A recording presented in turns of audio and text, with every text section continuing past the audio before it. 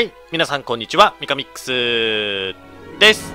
ロマンシングサガ2リメイクということで、リベンジ・オブ・ザ・セブンの、えー製品版やっていこうと思います。まあ、前回は、えー体験版をやったんですけれども、えー製品版の方をやっていきます。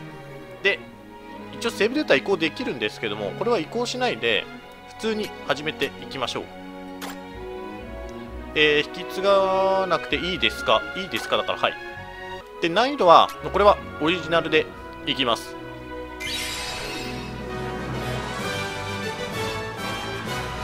で、最終工程は、まあ、まずはね、男でいきましょう。まあね、女の方がなんかいいですけれども、別に一周で終わるわけじゃないんで、最初は男性でいきます。我らが帝国のために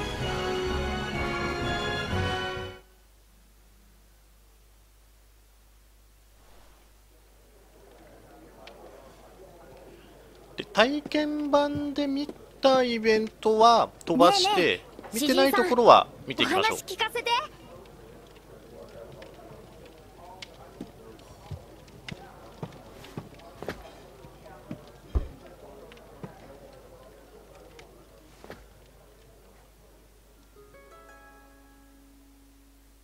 ここに始まるは遥かなる戦いの歌偉大な帝国と麗しきアバロンの歌。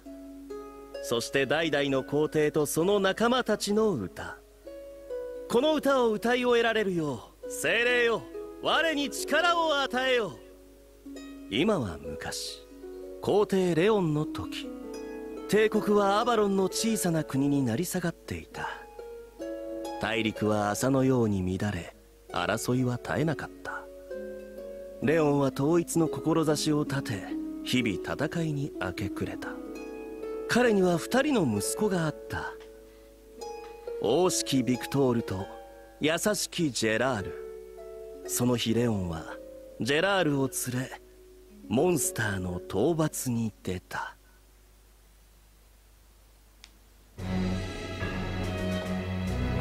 ここのモンスターには付近の住民も苦しめられている。モンスターを追い払いこのダンジョンを封印するのだ。はい父上。先遣隊との合流地点に着くまでの間私が戦いの基礎を指南する。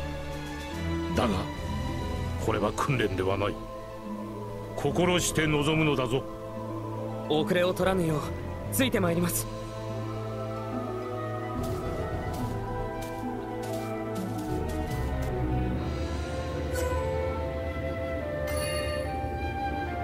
で、まあ、封印の地はパパパッといきましょう。マジで死ぬ。いや敵が強い。てか、ジェラールが弱い。最初防御して私た方がいいかな。攻撃だけしたら。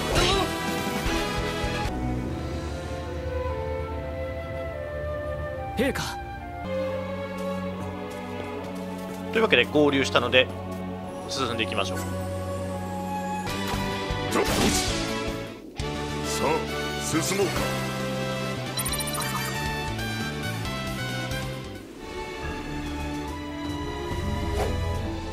よしこれで全てだな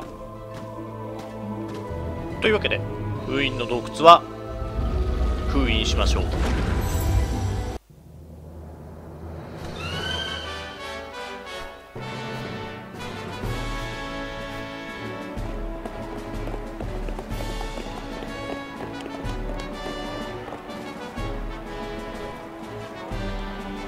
皇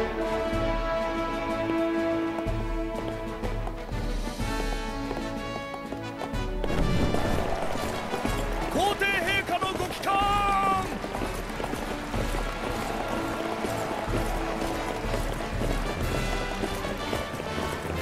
見ろジェラール。民は強き国。勇ましい皇帝を望む。民の願いに応えるため前も兄を助けよ。はい父上。私も兄上のように強くなって皆の幸せを守るために戦います。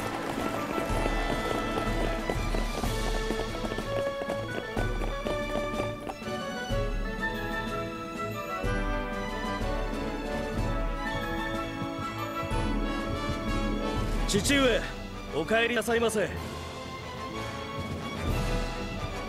ジェラール怪我はないか？大丈夫だよ兄さん。父上の足手まといにならないようにするのがやっとだけどね。父上弟は戦いよりも学問の方に才能があるようです。無理に戦闘に連れて行かずとも良いではありませんか。戦いは長子である私の務めです伝説の七英雄が帰ってきたとい。うが争いが収まる気配はない戦乱の世は当分続くだろう。多くの脅威にさらされる今ジェラールも戦闘経験を重ねてビクトールの片腕として働かねばならんのだ。しかし帝国の未来のためにも知略に秀でた参謀の助けは重要かと。ジェラールの才能は内政に生かすべきでは。陛下オアイーブという女が謁見を願い出ておりますが。またか。連日熱心に通ってくるな。仕方がない。通してやれ。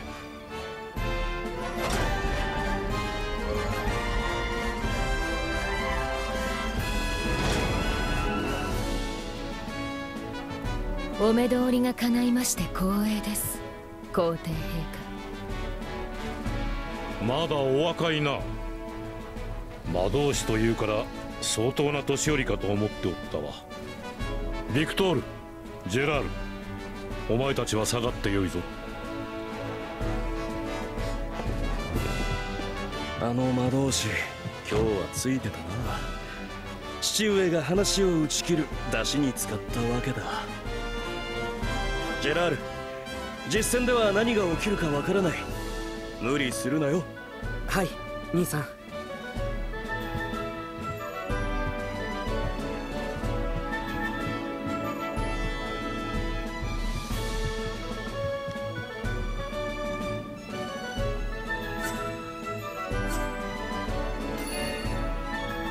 では宮殿内を探索するということで、まあ、話す人を話してイベント進めましょうベア。これはジェラール様。陛下とのモンスター退治で剣の腕前は上がりましたかな？いや人間向き不向きがあるからね。それは当然そうでしょう。しかしだからこそ人それぞれの役割があるのです。でも本で得た知識は実践に役立ちそうもないよ。私はご覧の通りのタイプゆえ素早い動きは得意としません。その代わりに私は決して後ろに下がることはありません。殿下の防壁となって敵の前に立ちふさがります。己の短所と長所を知ればおのずと役割も見つかります。ジェラール様にも必ず何らかの適性と役割があるはずだ。諦めずに励まれよ。期待しておりますぞ。ありがとう。いいやつだ。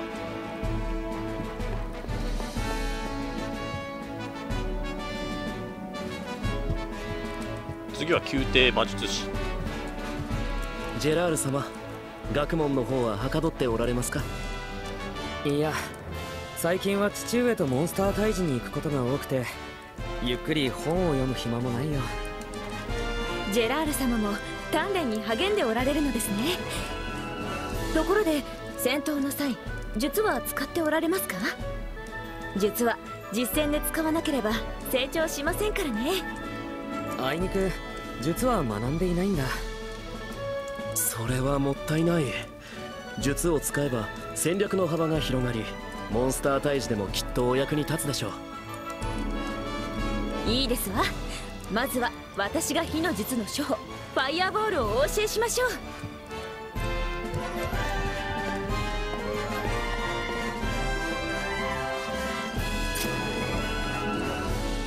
さあこれでファイアボール覚えたので、まあ、覚え忘れということはないですね。これこなさないとイベント進まないはずなんで。ジェラール様は弓はお使いにならないのですかこいつら。遠くにいる敵にも有効な良い武器ですよ。私は弓は使えないよ。扱いも難しそうだ。そんなことありません。修行すればきっと得得できます。私が弓の技術をお教えしましょう。うーん。無理じゃないかな。ジェラール様彼に付き合うことはありませんよ自分に合った武器を使うことが一番なんですから。相性のいい武器を使っているからこそ新たな技をひらめくというものです。そうだね。私には弓は向いてない気がするよ。そんなことはありません。レオン陛下の血を継いでいらっしゃるのですから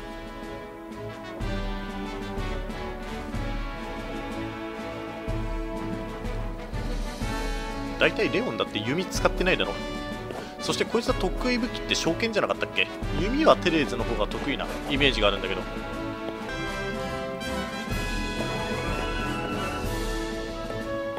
ご無理をなさってはいけませんよ。ジェラール様は文治に秀でたお方。無理に戦いに行かずとも。心配かけてすまない。だが少しでも父上兄上のお手伝いがしたいのだでしたら戦闘の基本ともいえる武器の技術を磨くといいでしょう。どんなに優れた武器であっても使い手の技術が伴っていなければ進化を発揮することはできません。修行を怠りなく。ありがとう。精進するよ。私にできることがあれば何でもいたします。どのようなさじでもお申し付けください。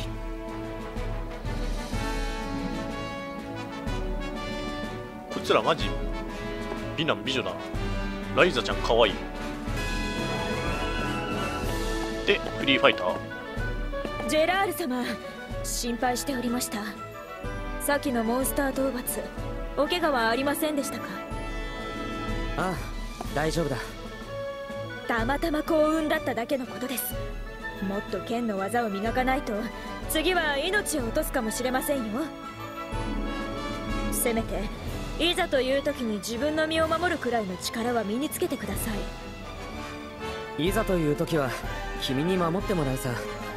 とても君のようにはなりそうにない。私を頼られても困ります。足手まといを守りながらの戦いなどこちらの命がいくつあっても足りません。分かった。できるだけ頑張ってみるよ。人間？向き不向きがあります。ジェラール様は学問でもしていればいいんですよ。ジェラール様一つお教えしておきましょう。俺たちフリーファイターは雇い主の命令には従う。だがそれは雇い主が命を預けるに値する人物と判断できた時だけです。要するに俺たちは優れた戦士にしかついていく気はないんですよ。ああ覚えておくよ。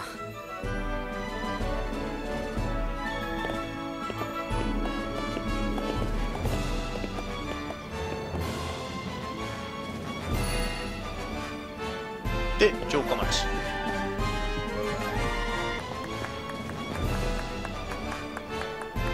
子供たちこいつらは別にボイスないか。猫元気になったありがとう。なんか意味ない会話して終わったな。宮殿へ戻りますか。まあ一応街にいる人たちはこんな感じだよっていうチュートリアルかな。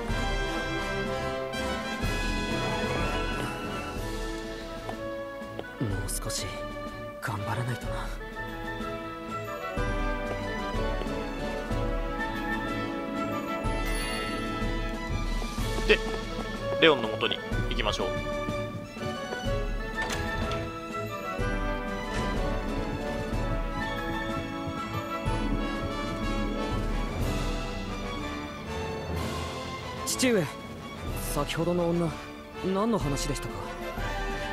総門の苦人衆が危険な奴だと注意しに来たのだ。しかし婦人シーも七英雄の一人。気を許してはいないがそう無茶なことをするやつでもあるまい。あの女の警告と七英雄の伝説。どちらが正しいかはいずれわかる。今は国の平穏を取り戻すことが先決だ。父上次はどこへ？東だ。ウォッチマンを討伐するぞ。地下に救う奴らを放っておけばいずれアバロンに侵食してくるだろう。ビクトール後を頼むぞ。はい父上。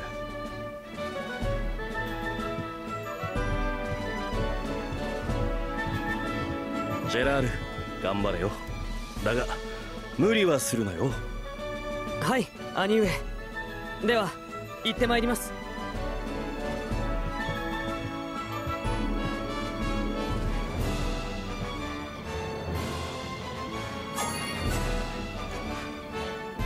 じゃあウォッチマンの巣へ向かいましょうと。いう前に装備でなんかであの最初の特典みたいなのもらったんだけどな。これは装飾品セットって書いてあるから装飾品じゃないのかな？なんかもう一回ロードし直すとか。あここにあるみたいですね。1階のセーブポイントのところ。回収しよう。めっちゃもわっとしてない。資源の併合書。とキャットの守りということでこれを装備していきましょう。えー、っと装備か。そうこれは初めて気づいたんだけどさ。鋼鉄の剣じゃなくてレオンの剣になってんだね。だから本当にもう2段階目まで2段階目？1段階目まで進んでるわけじゃなくて、まあ、普通にレオンの装備している強い剣だよっていう感じ。でクリスナイフ装備してるけどこれを資源の兵法書にしてえっ、ー、と1001年まで技術点10%上昇。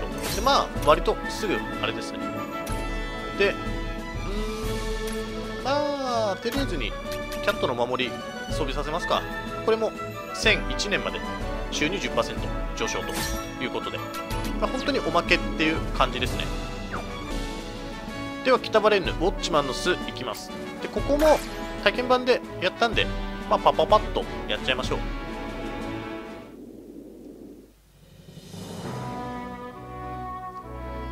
ウォッチマンの巣。そ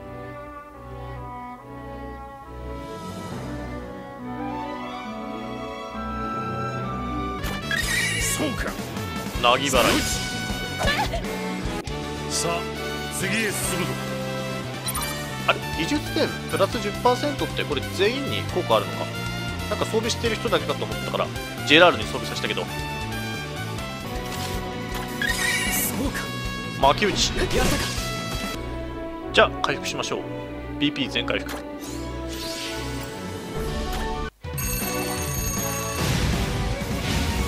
蹴散らしてみせる。まあ、まずは周りの雑魚からなんかまあ両方武器は使っていきたいんで体験でぶん殴って。これだおパリひらめい。回避回。避あ僕。ああどれじゃね。えや危ねえ。でジェラール一回ファイアボール使って。お狙った獲物は逃さないわ。くで弓デタラメは欲しいよね。でライトボールに使う。パーリーありだなこいつ。一回でもコンボでぶん殴ったとこもありだな。日本地駆除そうなんだよね。結構ダメージ食らうんだよね傷薬とジェラールの分使い切っちゃったし。大丈夫ですか？高級傷薬までも手出したばっか任せてくれ。えーと槍で一回つっついとこう。で証券でつっついて。でレオンをもうちょっと2段切りぐらいあちょっとウォッチマンでしたでパリでいきやするジェラールはやゲットを先に倒す私の番だで体験もこっち証券もう一発打っとく？勝ち弱スイミング。きれい。見切らない。誰か耐性があったの？100体だから剣攻撃で攻めていこう。減ってきたらまあ回復でこいつ倒せば終わりだからファイアボールでいっちゃう体験気持ちやばい。あぶねガードできなかった。これ死んでたっぽいぞ。で二段切りいこう。さて覚悟はできたか？え？ちょっと縦だから縦っていうかその縦役だから。回復はしておこう。傷薬ペア。助けます助かる。見ていろジェラー。ル行くぞ。切りはつけたいなうーん体験。あ巻き打ち打てばよかった。えーっとヒット95かコンボと剣だったらどっちがいいんだな。どっちもどっちもいいんですけどあ俺いいでえーっと巻き打ち何か様子がおかしい。からのちょっと防御して。でレオンはちょっと傷薬でジェームズの諦める。なすまない。かかって一応ヒットポイント。面白い。的にはありだパリ一応しかもデタラメやが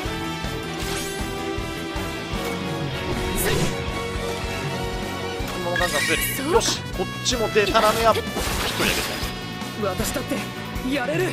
えーっとテレーズ狙われたら死ぬけど道具がないんだよな。パリいいね。ベアのパリめちゃくちゃありだなで今レオン。これなんか連携ありなんじゃない？この段階で。一気に攻める。オーバードライふっ止めた。さあ進もうか。ブフィニッシュつくんだ。ラビットフット。これ確定っぽいっすね。ウォッチマン倒すと。よかった。勝てた。いや強かった。この巣の後始末は城の者に任すこれで当面はモンスターに攻め入られることもないだろう。さてそうと決まれば長居は無用だ。ビクトールのやつも心配しているだろうしな。そうですね。早くアバロンに戻って兄さんを安心させなきゃ。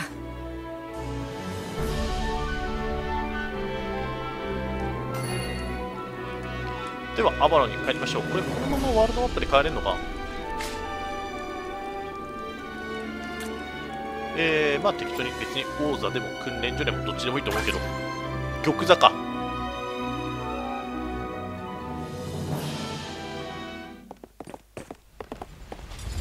何があったのだ？まさか。あれは。ビクトール！兄さん！ビクトール！しっかりしろ！何があったのだ？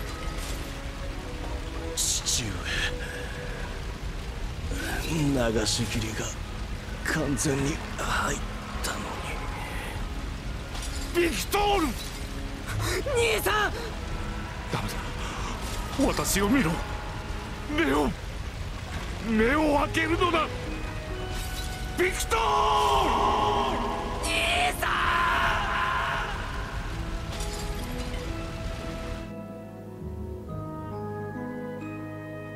ん！見たままお話せ。ビクトールの最後。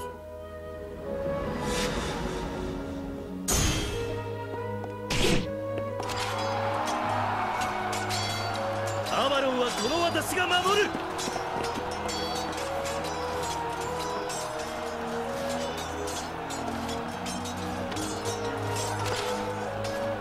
我が剣受けてみよう。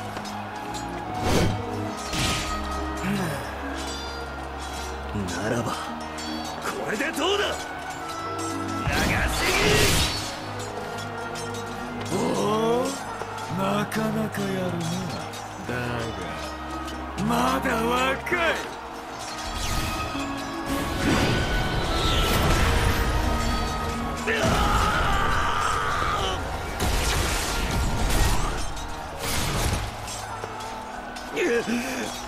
まだ倒れるわけにはいかない。命に変えてもアバロンは渡さぬ。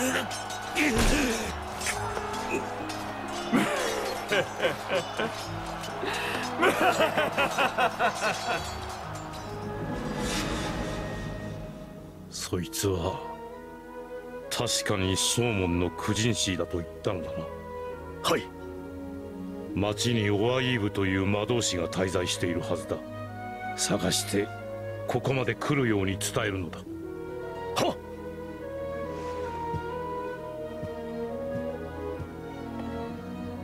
苦心師許しておかんぞ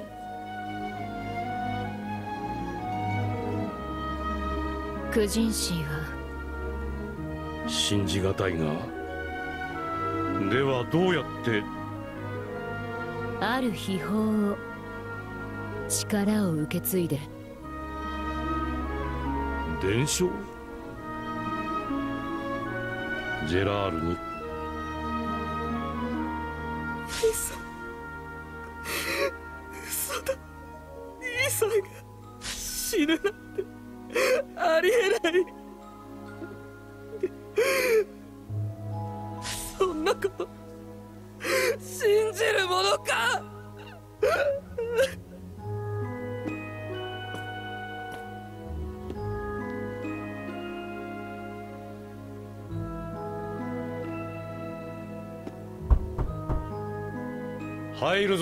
ジェラール。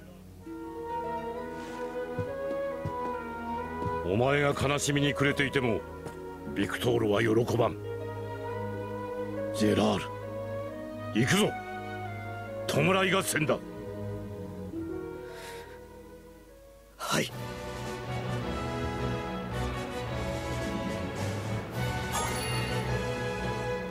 というわけで総門へ向かいましょう。まああの体験版が終わるところまではまあ普通に進めていきます。まあ第1話として。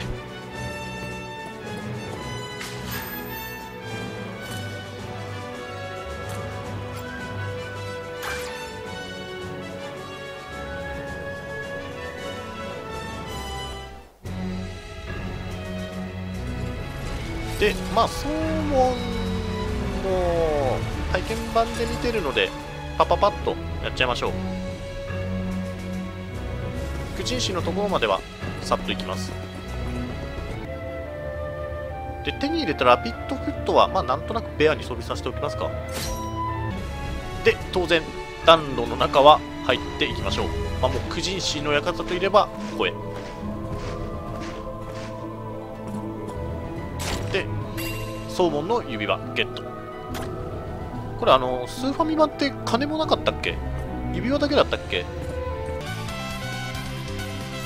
いや普通にミミック倒したら星屑のローブ手に入れたんだけど星屑ローブマラソン必要かなって思ったら普通に手に入れたんだ。やった！ではクジンシーの部屋へ突入しましょう。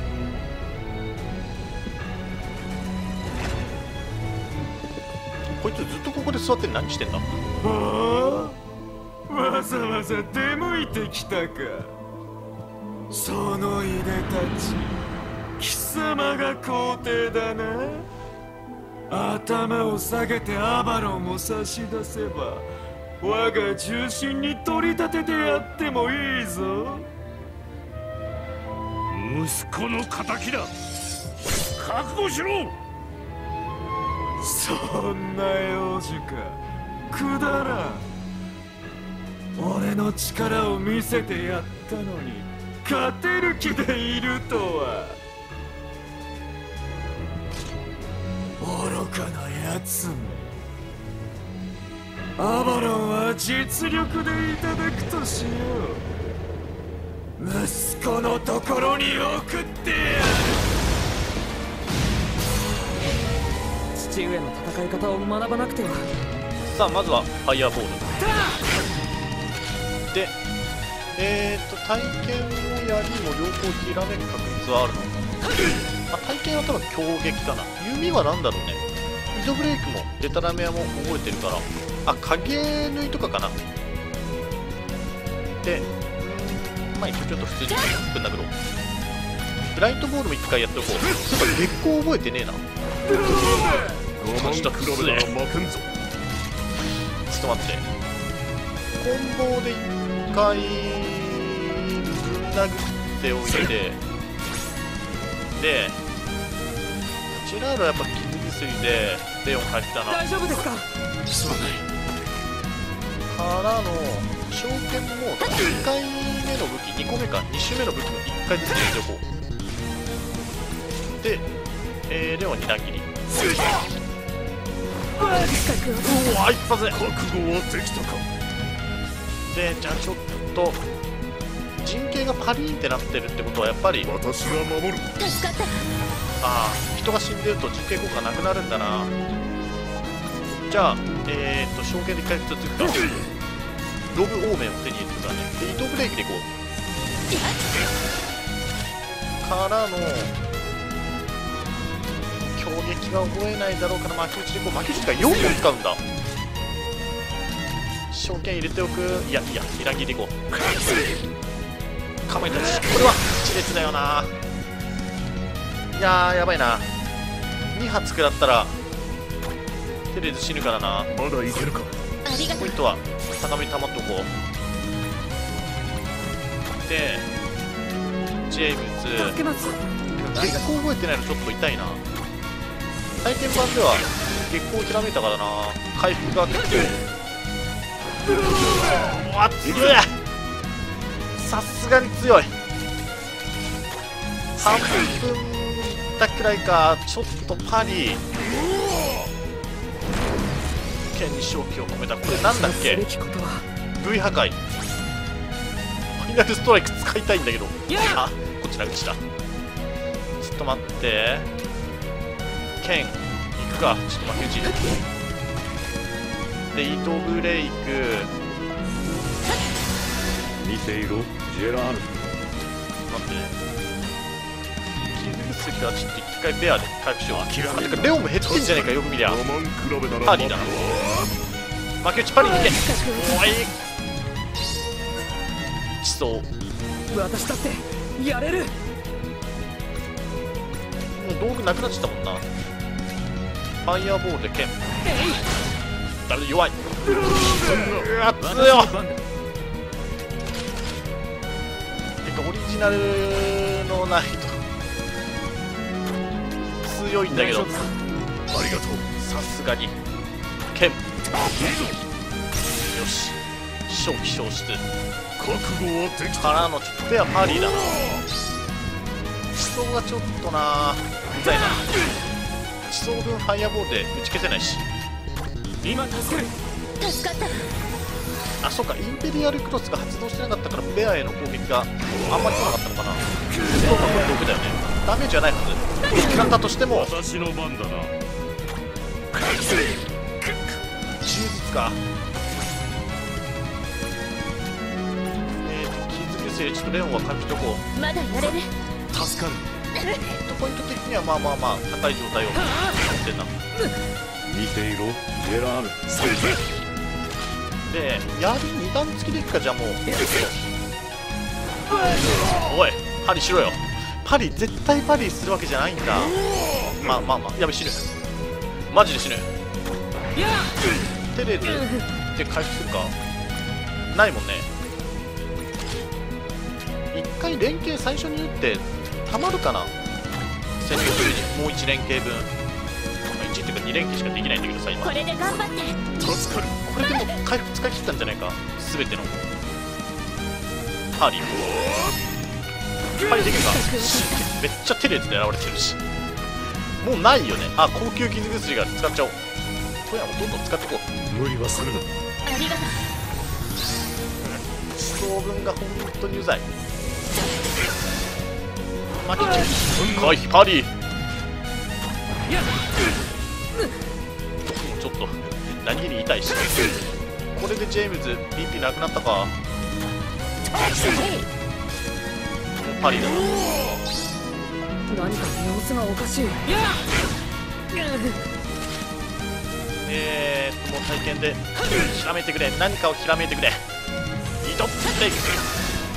かまいたちこれを待ていやでももうこのまま攻めるしかない。かパリもう一回パリで弾いてくれればなだいぶ楽になるんだけど。このまま押し切る。よし。これはたまらん。本気を出さねばなるまい。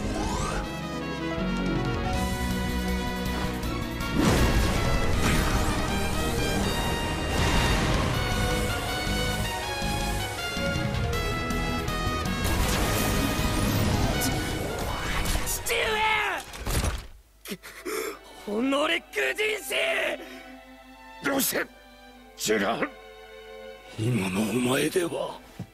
勝てん。ここは引くのだ。しかし父上！いいだろう見逃してやる。どうせそいつは死ぬ。皇帝の死を見れば誰もが俺の力を恐怖し服従する城はその後もらい受けるとしよう。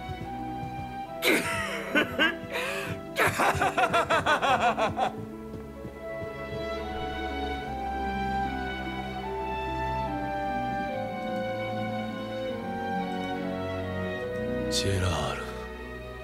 はいここにおります。いけません。安静にしていなければ。ジェラールお前が次の皇帝だ。お前はクジンシーと戦わねばならん。はい。だが今のお前では勝てん。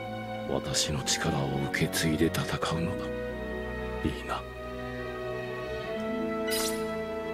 はいはい。はいはい。そういうふうに言うんだ。もっと真剣になるのだ伝承法というものを教えてくれた。伝える者と受け継ぐ者に強い意志があれば志と能力を受け継ぐことができるのだ。あの女が何者かわからんしただの出任せかもしれん。しかしお前とこの国が生き延びていくにはこの方法に頼るしかないのだ。奴の必殺技ソウルスティールは見切った。この見切りお前に伝えよ。父上まさかそのためにクジンシーと戦ったのですか？あのメギツネめが父上をそそのかして。ジェラール今は国家のいや世界の存亡にも関わる大事だ。私のことなど取るに足らん。しかし父上そのようないかがわしい術を私は聞いたことがありません。私も初めは疑った。だがその後女の言葉は現実となった。クジンシーはビクトールを手にかけ今帝国をも我が物にしようとしている。伝説では七英雄は世界を救ってくれるというが実際はどうだ？あのクジンシーには世界を救う気などないようだ。奴が偽物なのかそれとも伝説が伝説に過ぎぬのかどちらにしろお前は強力な七英雄に立ち向かわなければならんのだ奴らがクジンシーのように残忍な奴ばかりだとすれば七英雄を倒さん限り世界の統一も人々の平穏な暮らしもない。お前は自らの人生を捨てて戦う決意はあるか？はい。よし。長く苦しい戦いになるだろう。だがその決意がある者に力を受け継いでいくのだ。ジェラール。私の魂は常にお前と共にあるぞ。さらばだ。父上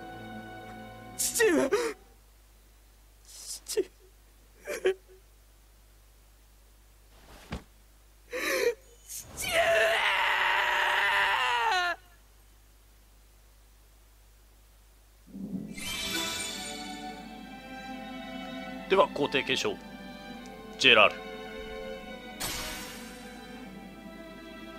えー、っとファイアボール使っててレベル2になって剣もレオン引き継いでるからレベル7か？高えな。召喚はあんま使ってないかねレベル3で光魔法もレベル6という感じですね。ジェラール。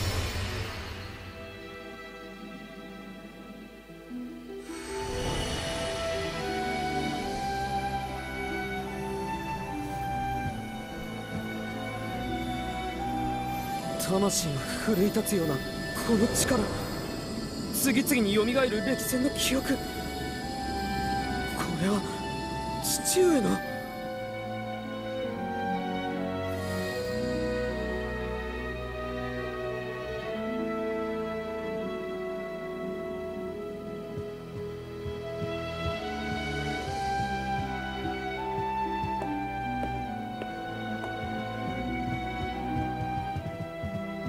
ジェラール様陛下のご容体は？父上は旅立たれた。なんということだ。ビクトール様に続いて陛下までもが。ああ帝国はアバロンはどうなるのだ？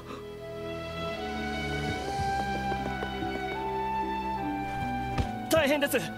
ゴブリンが攻めてきました不幸につけ込んできよったか。父上お守りください。長きにわたる帝国の歴史の中でもこれほどの窮地に立たされたことはあるまい。もはやこれまでか。落ち着け。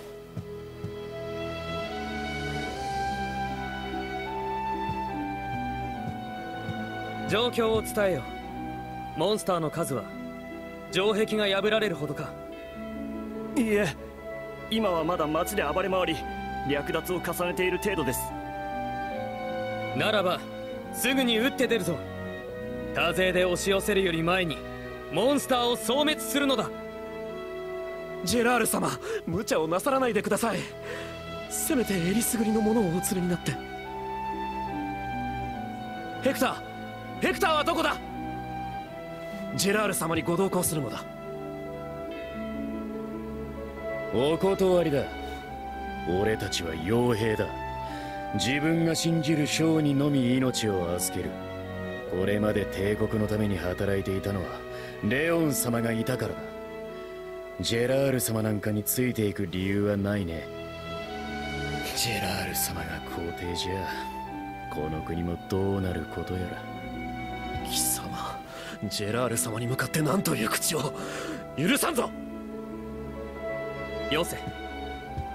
分かった。ヘクターの言うことももっともだ。他の者と行こうジェラール様自らが兵を挙げられるのだ。さあ声高く時の声を上げよ。ジェラール様の皇帝陛下のご出陣！ご出陣！